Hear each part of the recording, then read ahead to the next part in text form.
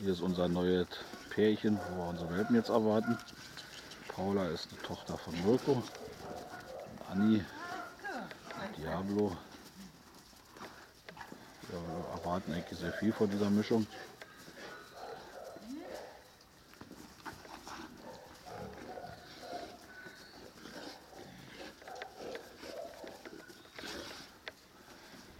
Die Welpen von Putze Paulas Schwester.